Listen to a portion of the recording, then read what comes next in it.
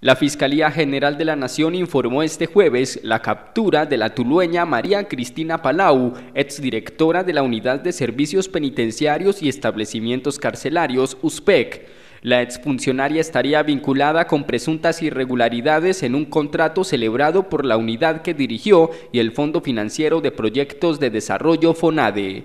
Las pruebas recopiladas por el ente investigador habrían permitido establecer que Palau habría concertado con terceros para que les fueran otorgados contratos para rehabilitar la infraestructura de varios centros carcelarios.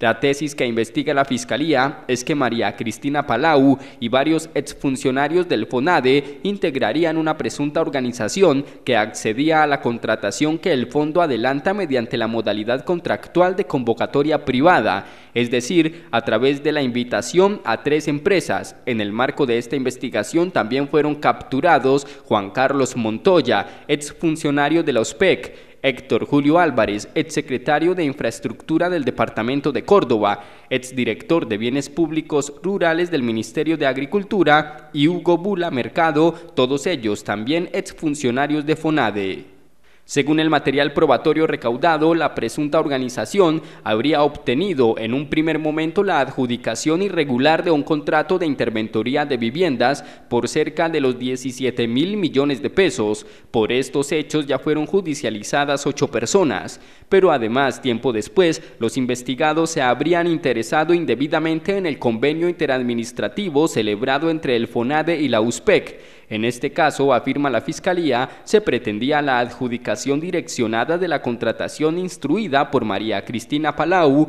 lo que supuestamente implicaba la exigencia de contratar personas estratégicas en el FONADE para manejar irregularmente diversos procesos. Palau además habría exigido que le entregaran información privilegiada de manera anticipada, como los estudios previos de los proyectos, para determinar qué empresas de las que ella pretendía favorecer cumplían con los requisitos.